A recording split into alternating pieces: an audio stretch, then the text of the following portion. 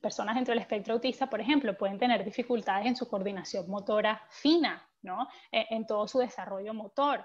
Estar sentado por mucho tiempo puede ser muy difícil mucho más difícil, tal vez para algunas personas dentro del espectro autista, que para niños dentro con desarrollo típico, ¿no? Eh, agarrar un lápiz y escribir, puede demandar de mucha energía y de mucho esfuerzo. Entonces, yo no puedo pretender que mi hijo escriba tres párrafos seguidos si eso es algo que de verdad le está demandando mucho esfuerzo. Entonces, yo puedo hacer adaptaciones, dividir las tareas en pasos más pequeños, en que escriba un pequeño, una frase y se tome un descanso y de pronto nos levantemos y luego regresemos.